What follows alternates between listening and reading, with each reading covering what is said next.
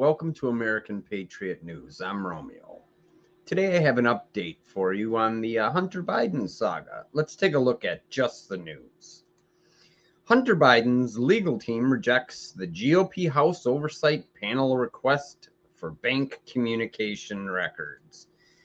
The panel says its mission is to probe domestic and international business dealings to determine whether these activities compromise U.S. national security.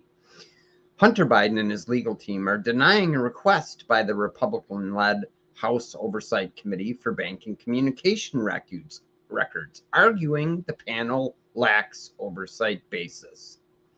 Hunter Biden, the son of President Biden, has recently changed his legal strategy amid Republicans and others' requests for materials in large part regarding his questionable overseas dealings, business dealings, taking a more assertive posture on allegations his overseas business dealings compromised U.S. national security and his father's ability to leave, lead impartially.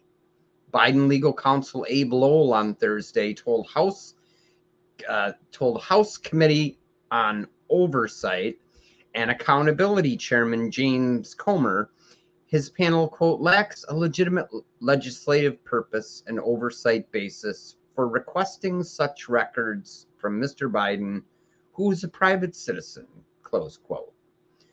Comer has requested unclassified documents records and communications between Hunter, the president's brother, James Biden, and the family's business partner, Eric Schwerin.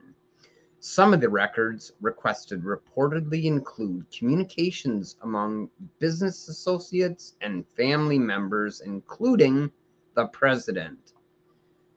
Rather than engage with you over a back and forth letter writing campaigns or any formal proceedings, I would offer to sit with you and your staff to see whether Mr. Biden has information that may inform some legitimate legislative purpose and be helpful to the committee, Lowell also reportedly said in the letter.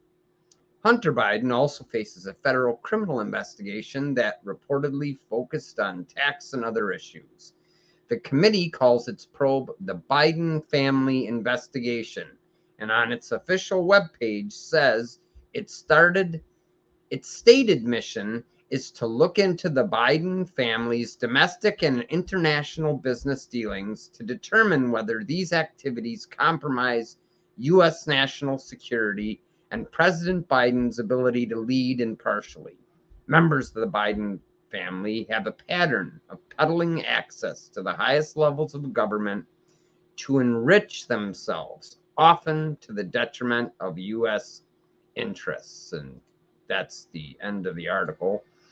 So this is actually really interesting. Hunter Biden comes out and his attorneys get all aggressive and talk about how they're going to sue everybody. I just that's fantasy land.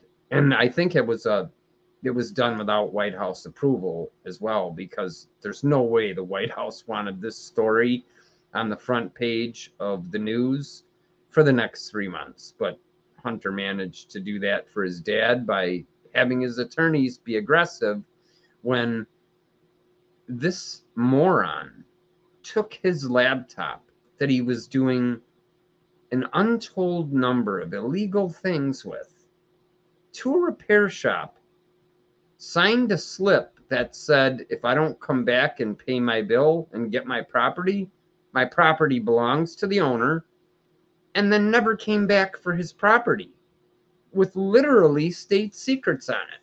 So, I mean, this is dumb and dumber doesn't even begin to expose the Bidens.